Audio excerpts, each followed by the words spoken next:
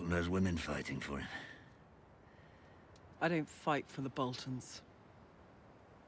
I'm Brienne of Tarth. I was Kingsguard to Renly Baratheon.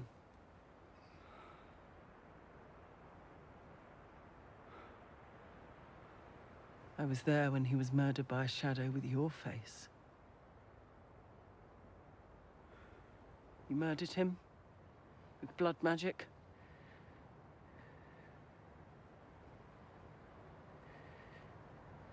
I did.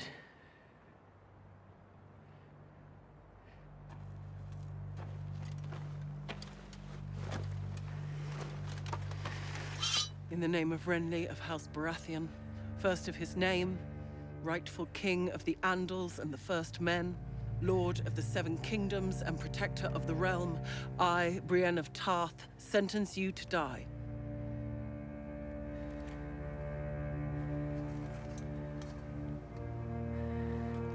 Do you have any last words?